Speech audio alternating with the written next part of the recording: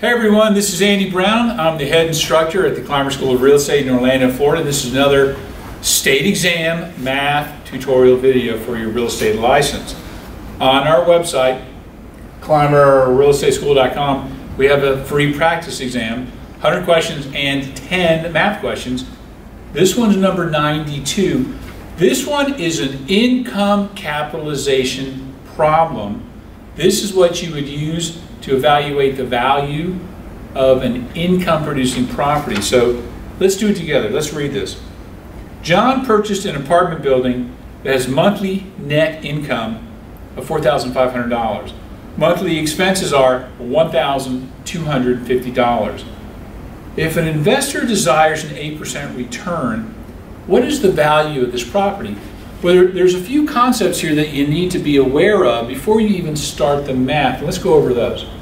First of all, if you're going to do an income capitalization math problem, and even better than that, in real life, if you're going to evaluate an income producing piece of property, you have to be able to write this down. Let me, let me remind you what this is. This is a flow. Potential gross income which is all the money that it can make if 100% of the units were rented 100% of the time. Then you subtract the vacancy and losses because nothing is ever 100%. Add in miscellaneous income, like how much money you're making from the, from the coin machines or the laundry or some uh, Coke machines. That gives you something called effective gross income.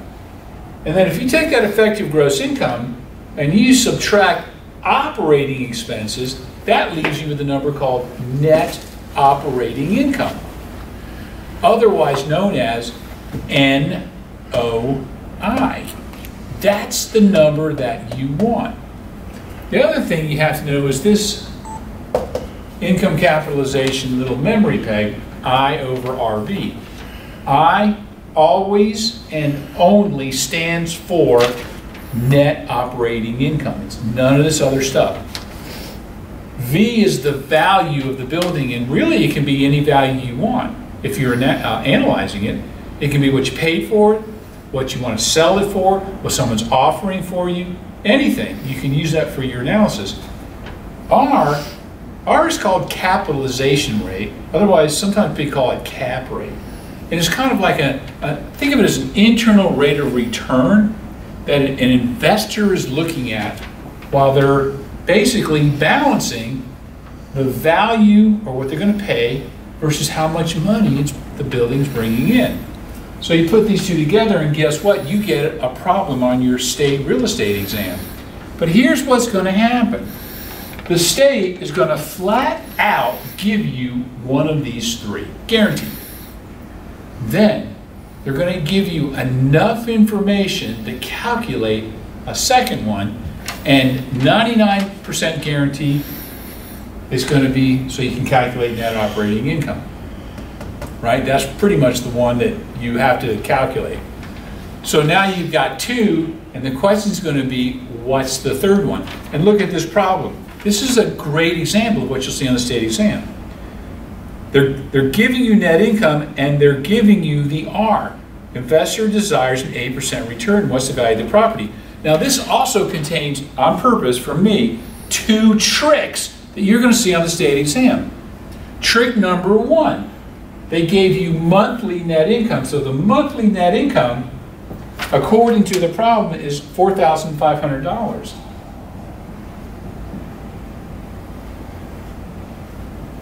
You want annual because you have an 8% per year annual return. You've got to keep your units the same. Yearly, yearly. So we have to multiply this by 12. $4,500 per month times 12 months per year is $54,000. Now our units are the same, year and year. The second trick is it tells us monthly expenses are $1,250 a month.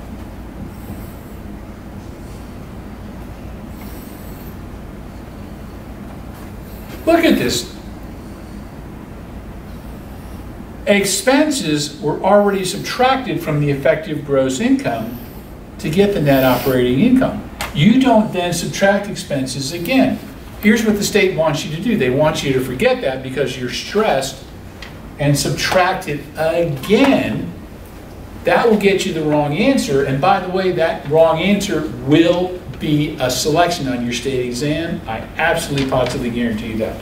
But if we take these numbers, we have to go back here to our memory peg. This is what I call swinging it out. Whichever one you want to solve for, you kind of swing it out to the other side. buddy. So right now, we want V. So we're going to take the V value, and we're going to swing it on out to the other side. What does that mean for us? V equals I over R. We have I, which is net operating income. We have R because they gave it to us. Now we just got to fill in the blanks. Let's take a look. What was net operating income? $54,000 per year. What is R? 8%. Let's turn that into a decimal. Move that over two spaces. If we put this into our calculator, 54,000 top number divide 0.08, we get A, $675,000.